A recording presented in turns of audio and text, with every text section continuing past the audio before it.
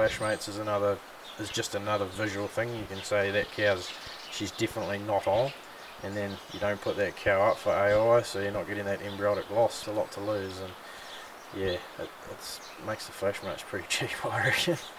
yeah.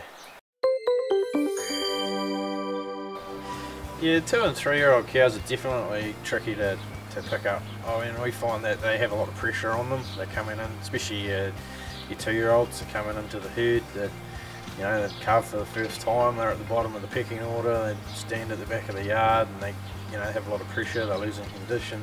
All those things against them coming into mating. But yeah, it's just a matter of using those tools to help you pick up when they're having heats too. They're probably having quieter heats because they're not as they're struggling a wee bit.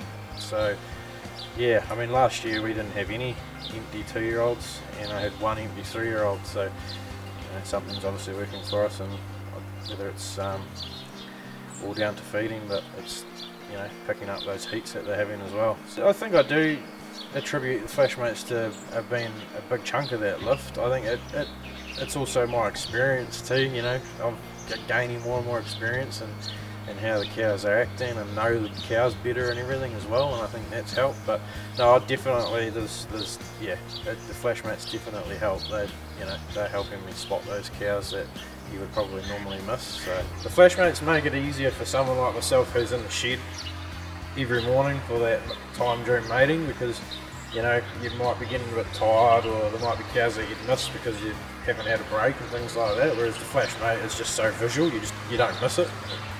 So yeah, I guess in terms of flexibility it yeah, it, it definitely makes the job easier for that period that you are stuck in the shed all the time. Yeah, we'll continue to use the FlashMates. Um, haven't had any problems with them and, at all and that's yeah, it's a good product and it helps us out so we'll be continuing to use it for sure.